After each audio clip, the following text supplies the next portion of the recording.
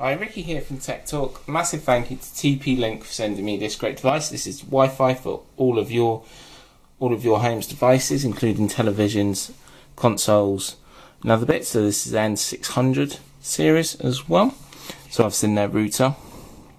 This is universal dual band Wi-Fi entertainment adapter,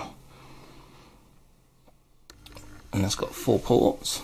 So Bottom there you've got some product information. Side you've got a view of the product. On the top you've got TP Link and their three year guarantee, so remember that always. And on the back you've got some information.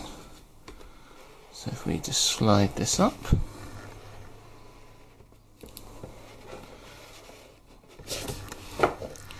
So in here you can see the box, so unwrap this.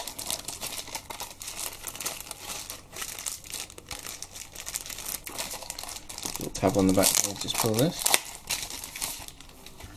So what this does, on the back you'll tell you you got your Xbox or your DVD player that's smart.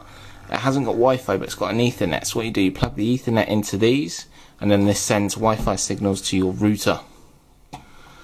This is nice shape there like a cone shape, triangle shape. Also in the box underneath we do have a plug, three pin plug there. Sorry about the focus, too close. Uh, RJ45 cable or Ethernet cable.